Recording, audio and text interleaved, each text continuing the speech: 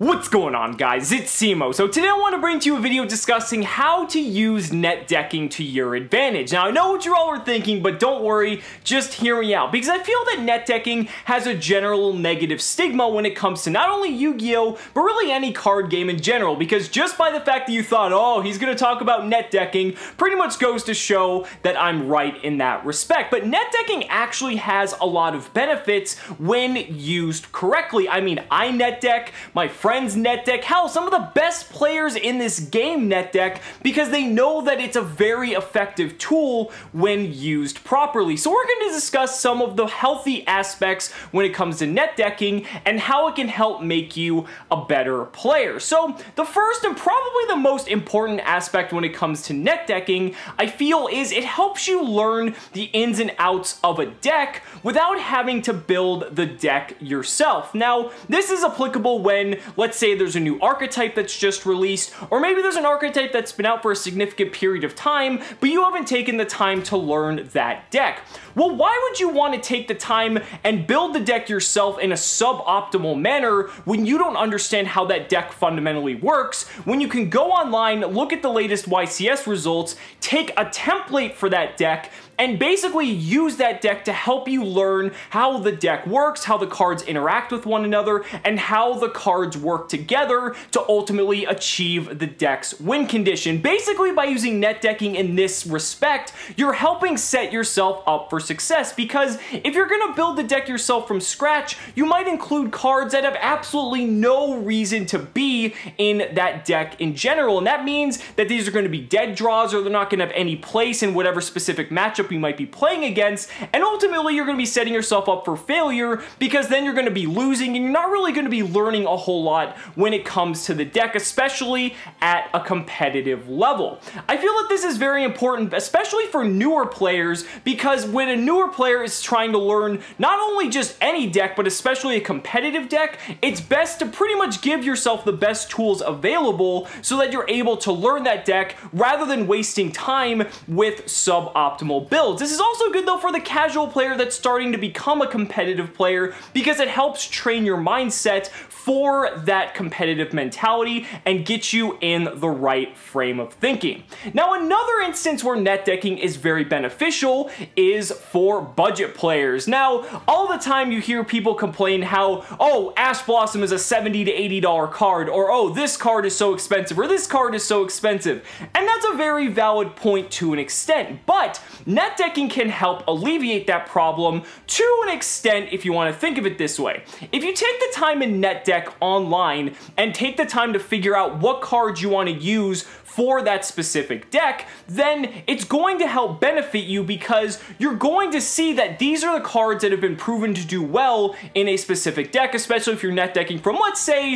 a YCS, because that's typically where a majority of players are going to take their decks from, because those decks have a given track record. Obviously, if a deck made it to the top 32 of a YCS, it has a pretty decent track record, and then especially when you count the number of times that deck made an appearance in the top 32. So so by net decking and utilizing these templates to kind of look and see, okay, these are the cards that pretty much every deck in here is using, then those are the cards you're going to want to keep your eye on. And basically, because you don't have to spend any money on all the cards in a given deck or archetype before pretty much placing your money in that position, you're able to choose and select the cards you want to play so that you're being incredibly smart with your money and minimizing costs. And you're also minimizing risk risk at the same time as well because you know that these are the cards that you're going to want to play with because you've experienced them firsthand without getting the cards first, finding out that they're not the cards you want, and then having to pay for it a lot later.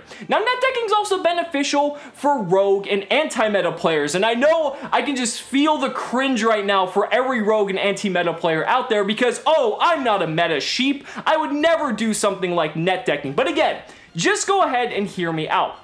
if you're net decking the best and top meta decks in any current format, like for instance, the top decks at the current moment are SPYRAL, Pendulum Magician, and Trickstar. If you're able to net deck those and play those, whether it's online or maybe with friends, if you just have some proxies lying around that you're gonna make the deck like out of paper, then you're able to play those decks and understand those decks from the perspective of the meta player. And this allows you, as the rogue or the anti-meta player, to construct and develop your strategy and help recognize patterns for how you can defeat these decks with a sort with any sort of rogue or anti-meta strategy that you see fit. This is why we see decks like Barrier Stun come to life. This is why we've seen Counter Fairies do well. This is why we've seen just a wide variety of different decks pretty much just come out of absolute nowhere because these players were able to analyze the meta that their decks were playing in and develop counter strategies that combated the majority of the meta decks that they were going to be expecting at a YCS level of event. So not only is this beneficial for you, but I mean, it's really beneficial just for everyone as a whole in that respect. Now, the last thing I wanted to discuss is that net decking also helps benefit you and make you a better deck builder. Now, that may seem a little bit contradictory at first, but let me go ahead and explain. The reason why net decking helps make you a better deck builder is because when you net deck and you're starting to learn and understand whatever deck or archetype you're attempting to learn, you're gonna start noticing patterns. You're gonna start realizing when it comes to certain metas, as the metas evolve, you're gonna notice that certain cards in certain instances may start appearing to be dead cards a lot more often than they should be. And this could be the result of maybe it was a bad choice to begin with, or maybe the meta has shifted to a point where a specific card might have fallen out of favor. But as someone who's taking a deck and net decking it in that respect, this is going to allow you to recognize those patterns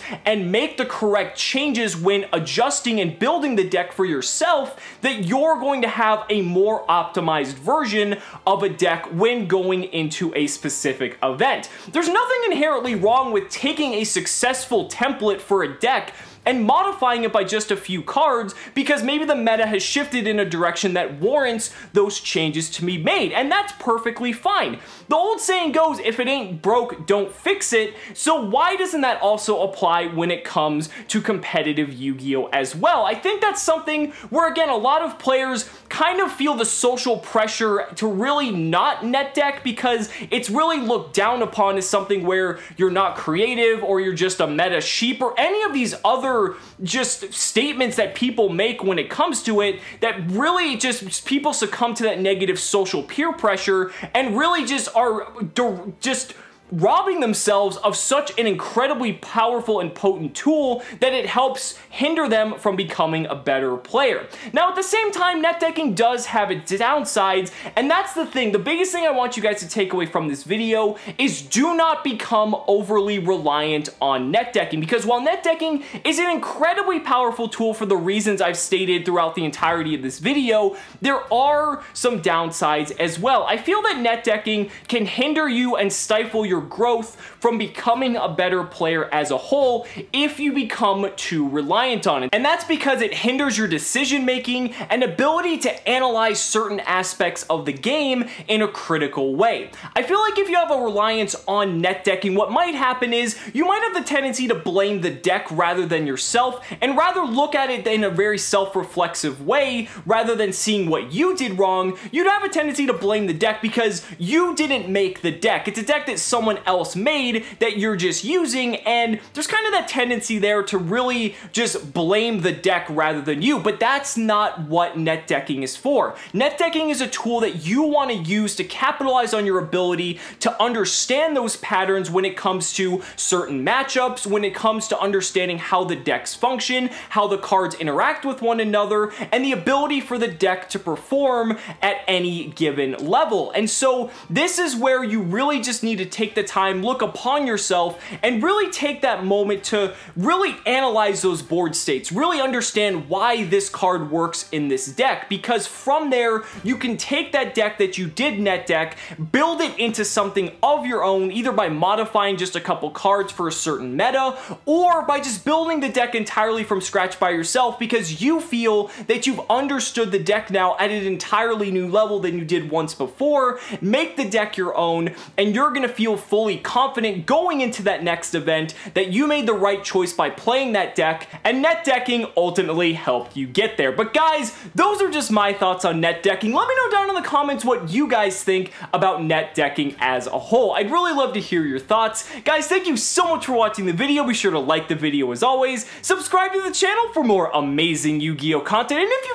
found this video informative, consider backing me on Patreon, because just by pledging only $1 a month, you're investing in my ability to continue bringing you amazing Yu-Gi-Oh content. So thanks so much again, and we'll see you next time.